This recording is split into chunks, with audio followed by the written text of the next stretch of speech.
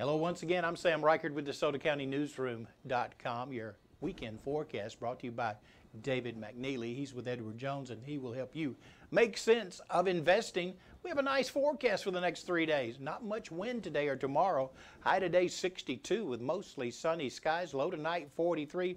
Winds from the north 5 to 10 miles an hour. Sunday even nicer. 71 for a high with sunny skies, low 54 winds from the south at 5 to 10 miles per hour, and you know it had to get windy again. Monday, partly cloudy skies, high temperature 76, low 57, winds from the southwest 10 to 15 miles an hour, gusting maybe to 25.